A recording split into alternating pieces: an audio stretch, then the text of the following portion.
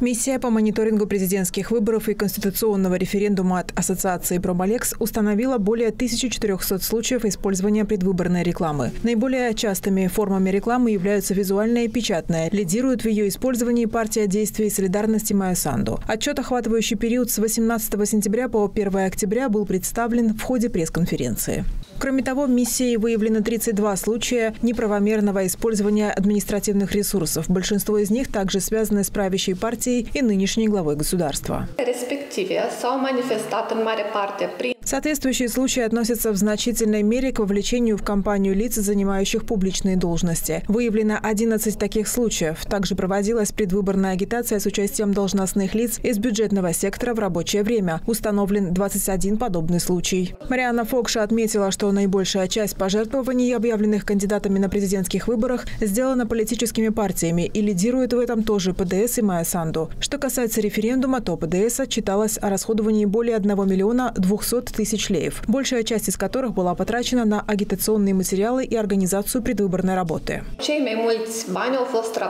Наибольшую сумму указала в своих отчетах Майя Санду, выдвинутая партия действий «Солидарность» – около 4 миллионов 700 тысяч леев. Александр Стоиногла от партии социалистов указал 4 миллиона 400 тысяч леев. Рената Усаты, соответственно, 2 миллиона 400 тысяч леев. Таким образом, констатируем, что по меньшей мере 89% в общем объеме пожертвований указали три конкурента на выборах и 11% остальные зарегистрированные участники. Также представители мониторинговой миссии сообщили о случаях предполагаемого запугивания некоторых конкурентов.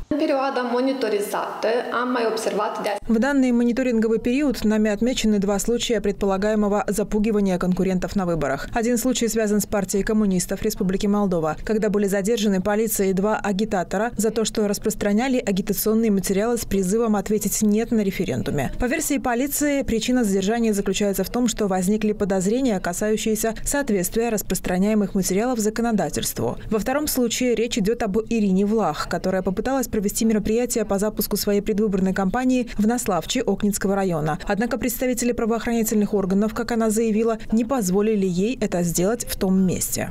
В нынешний третий отчет включены 8 судебных исков, связанных с исключением одного из политформирований из списка партий с правом участия в выборах, а также с учреждением избирательных участков и отказом ЦИК регистрировать доверенное лицо одного из претендентов на участие в выборах. Соответствующие иски рассмотрены в суде в течение от 2 до 10 дней. В двух случаях установленный законом срок был превышен. Также в отчете отмечено, что учреждены только два из пяти объявленных ЦИКом бюро избирательных участков в Российской Федерации.